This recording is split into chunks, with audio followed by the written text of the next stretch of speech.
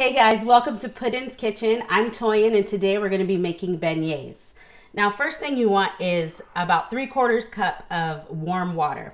We're gonna take about a teaspoon of sugar and melt that into the warm water. We're gonna give it a quick stir so that it dissolves. And just like that, your sugar is dissolved into the warm water. Now, if you have a mixer like this, go ahead and pull it out. This is the time to use it, but if not, just go ahead and use your hands. We're gonna put this, pour this right into our mixer. Then we're also gonna add in our teaspoon of vanilla and a tablespoon of butter. Now, if you don't have, if you don't want to use butter, you'd rather use, use like a vegetable shortening, you can do that. You can also try out coconut, coconut oil as well would work. All right. So now we're going to lift the mixer and turn it on the lowest speed. Let that mix up a little bit. The warm water is also gonna melt your fat.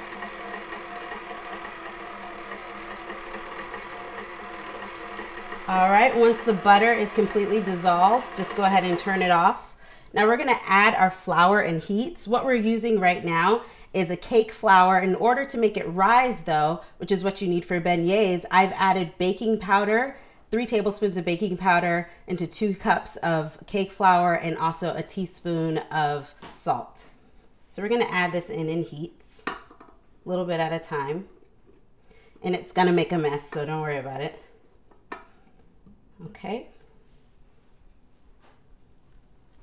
Then we'll turn it on again. We're just gonna add a little bit more at a time. And you're going to want to keep your blender on uh, the lowest speed. All right, you're gonna let that mix slowly. You don't wanna over mix it, so you wanna keep it on a low speed. You can also turn it down or turn it off and wipe down the sides a little bit with your spatula and then turn it back on and let it blend.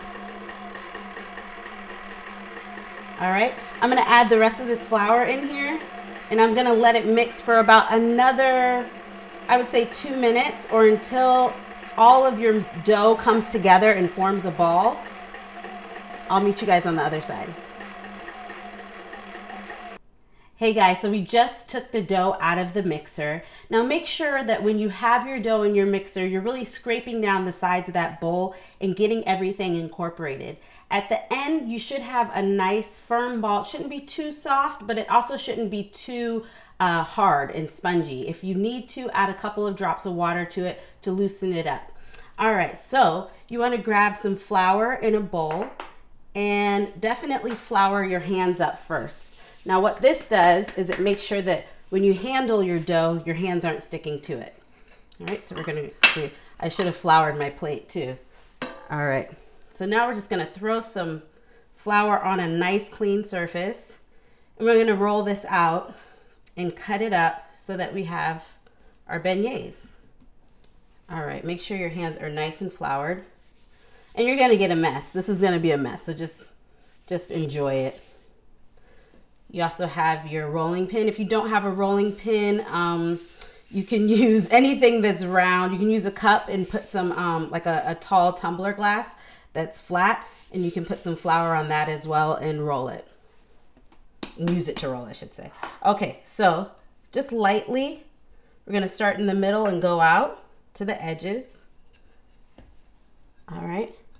We want these to be about a quarter of an inch thick. right?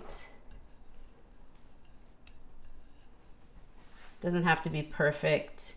When I've I've been to Cafe Du Monde before, and what was cool is that all of the beignets are kind of just different odd shapes. They're not like perfectly square, so it looks nice and homemade like that. All right, that's about a quarter of an inch. And if your dough starts to stick to your rolling pin, just put some more flour on it. All right, there we go. So now you're gonna get a knife. You could also use, you know, put make any shapes of this you'd like to. I'm just gonna go ahead and cut this into like rectangles. I want these to be pretty big, so I'm gonna cut big ones.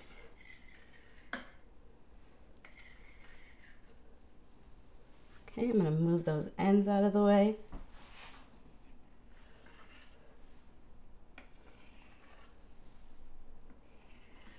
All right, so now what we've got here is a beignet that is ready for frying.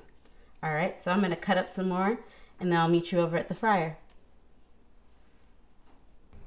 Hey guys, we're finishing up our beignets. We got them all cut up now. And so we're going to get a nice hot pot of, I'm using corn oil. You can use um, any light oil, vegetable oil, um, anything that's light and doesn't leave too much of a flavor. You don't want any residual oil flavors when you're biting into your beignet. You just want to taste all the doughy goodness.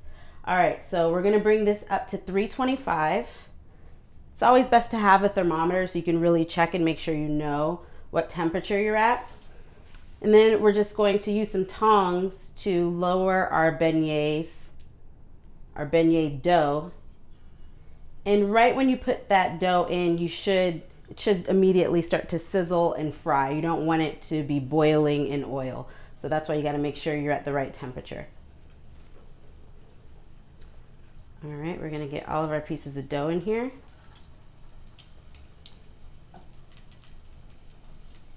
And they really don't have to fry that long, guys. They're gonna fry until they get, like, start floating at the top and are nice and light brown. And you also don't wanna overcrowd your pot. So what I'm gonna do is put that many in and I'm gonna do another batch after this. So right now the dough is starting to float to the top. Like I said, it doesn't take much time at all, but you wanna, you know, toss them around a little bit in here. You wanna make sure that all sides are getting fried and that they are um, turning golden brown. That's the color that you want. These are already so beautiful. I love the way they look when they start popping up to the top. Don't get tempted to take them out right when they start floating though. Do let them get some brown color and some caramelization because that does add to the flavor as well. And you want to make sure the middle is, is nice and done too. Now I didn't make the huge beignet size. I made kind of a small beignet which is nice because uh, beignet is, is filling and I just kind of want a little bit like with coffee or tea. If you happen to have some chicory root coffee, that would make this even better and a more authentic experience. It's gonna be like you're at Cafe Du Monde, you know, eating their beignets and coffee. So we're gonna keep on stirring these and get them a bit more color. I'm gonna turn this up a little bit more just because I'm not getting the color that I like. So I'm gonna speed up the process.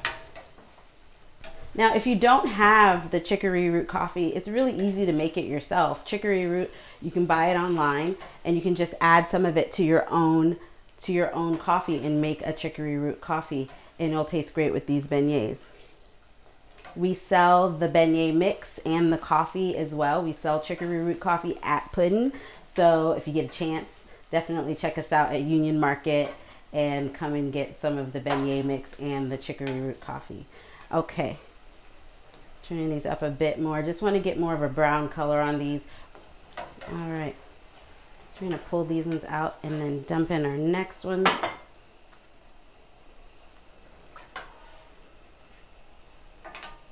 Be very careful.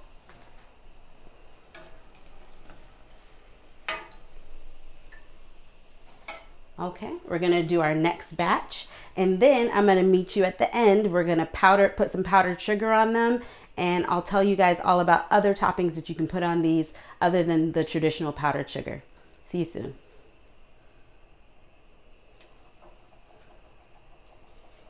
Hey guys, so we just finished frying all these beignets and now we're going to sprinkle some powdered sugar on top.